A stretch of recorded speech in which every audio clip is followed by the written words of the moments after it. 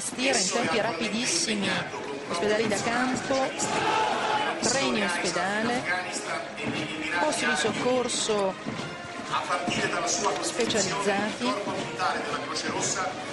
E sono anche destinati ai servizi di protezione civile, queste sono le croce rossine, le infermiere volontarie della Croce Rossa hanno anche loro partecipato a bordo della portaerei Cavour alla missione umanitaria di Haiti. Le infermiere volontarie della Croce Rossa hanno la bandiera che fu conferita loro nel 1984 dal presidente Pertini.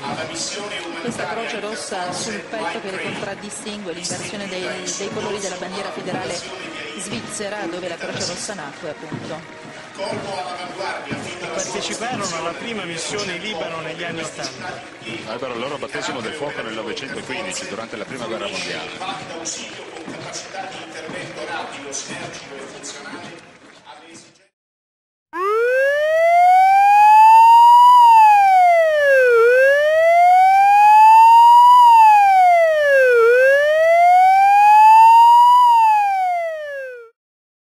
Mm.